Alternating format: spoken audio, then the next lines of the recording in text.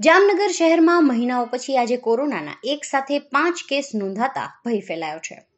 દિવાળી પૂર્વે જ કોરોનાએ ફરી માથું ઉચકતા ફફડાટ વ્યાપી ગયો છે. લોકો દિવાળીની ઉજવણીમાં કોવિડ પ્રોટોકોલનું પાલન કરવાનું ચૂકે નહીં એ જરૂરી છે. બેદરકારી દાખવવામાં આવશે તો ફરી કોરોના શહેરને ભરડો લઈ લે તેવી ભયાનક સંભાવના છે. જામનગરમાં ડેન્ગ્યુની બીમારીએ હાહાકાર મચાવ્યો છે. શહેરમાં છેલ્લા પંદર દિવસમાં ડેન્ગ્યુના ચાર દર્દીઓના મૃત્યુ થતા ભય ફેલાયો છે. નિયમિત ડેન્ગ્યુના નવા પંદરથી વીસ કેસ નોંધાઈ રહ્યા છે.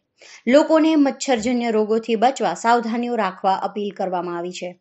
રાત્રે સૂતી વખતે મચ્છરદાનીનો ઉપયોગ તથા દવાના છંટકાવ સહિત ઉપાયો જરૂરી છે. તંત્ર પણ શહેરમાં નિયમિત જંતુનાશક દવાઓનો છંટકાવ કરે તે આવશ્યક છે. જામનગરમાં ગુલાબનગરથી વિભાપર જવાના માર્ગે દબાણ હટાવવા એસ્ટેટ શાખાના અધિકારીઓ પહોંચ્યા હતા. પોલીસ બંદોબસ્ત વચ્ચે જેસીબી વડે ઇકબાલભાઈ ઇલેક્ટ્રિક વાળાનું મકાન તોડી પાડવાની તજવીજ શરૂ થઈ હતી.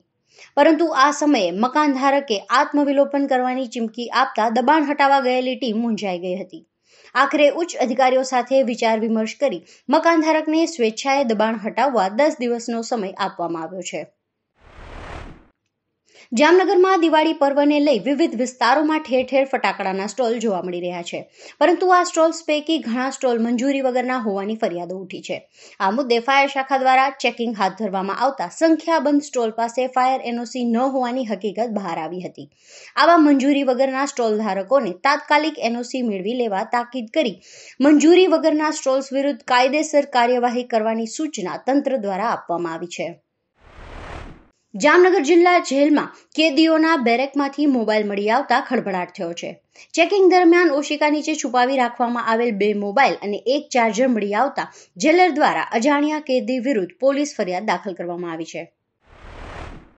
આઝાદી કા અમૃત મહોત્સવ અંતર્ગત જામનગર જિલ્લા કાનૂની સેવા સત્તા મંડળ દ્વારા જામનગરના ગ્રામ્ય વિસ્તારોમાં કાનૂની જાગૃતિના બહુવિધ કાર્યક્રમોનું આયોજન કરવામાં આવ્યું છે. આજે કુલ એકસો ચાર કાર્યક્રમ યોજાયા હતા. પત્રિકા વિતરણ સાથે શૈક્ષણિક સંસ્થાઓમાં બાળકોને પણ તેમના કાનૂની અધિકારો અંગે માહિતગાર કરવામાં આવ્યા હતા. કેટલાક ઓનલાઈન કાર્યક્રમો પણ યોજાયા હતા. કુલ સવા લાખ લોકો સુધી કાનૂની જાગૃતિ ફેલાવવામાં આવી હતી.